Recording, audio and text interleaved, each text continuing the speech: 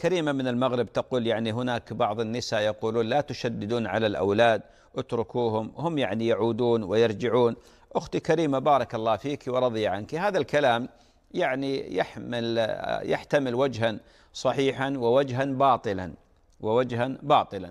أما الوجه الصحيح فهو مسألة النظر آه، في في مثلا أحوال الأولاد النظر في واقع يعني الناس مثلا. فيقول بعض الناس لا تشددون التشديد الزائد مثلا.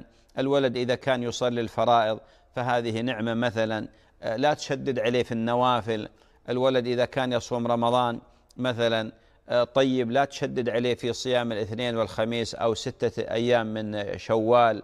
الولد إذا كان يقرأ جزء من القرآن يوميا لا تشدد عليه تقول له اقرأ جزئين أو ثلاثة. يعني الولد إذا كان ولله الحمد بار بوالديه لكن يحتاج إلى نوع من اللهو البريء وكذا لا تشددون عليه بحيث تمنعونه. نعم هذا وجه صحيح. أما قضية لا أتركوا الأولاد والمصلح في السماء وهم يعودون وكذا هذا كلام باطل. كيف؟ الله عز وجل ماذا قال؟ قال يا أيها الذين آمنوا قوا أنفسكم وأهليكم نارا. وقودها الناس والحجارة عليها ملائكة غلاظ شداد. لا يعصون الله ما أمرهم ويفعلون ما يؤمرون. ويقول النبي صلى الله عليه وسلم ألا كلكم راع وكلكم مسؤول عن رعيته فالأب راع في بيته وهو مسؤول عن رعيته والأم راعية في بيت زوجها وهي مسؤولة عن رعيتها والراعي يأمر وينهى الراعي يأمر وينهى يوجه.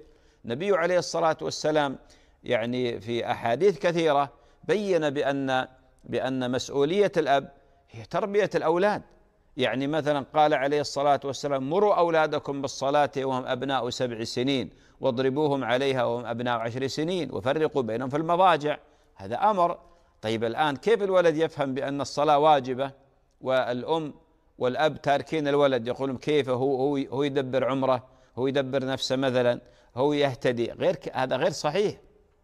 هذا كلام غير صحيح. كذلك الأخلاق. ما نحل والد آه، ولده مثل حسن الخلق. يعود على الأخلاق ينهاه يزجر عن الكذب ويحفزه ويشجع على الصدق مثلا.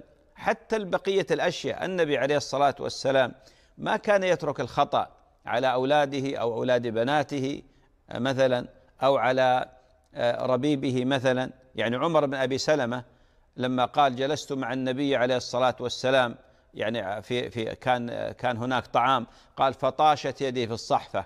قال النبي عليه الصلاة والسلام يا غلام سم الله يعني قل بسم الله وكل بيمينك يعني لا تأكل بشمالك وكل بيمينك وكل مما يليك.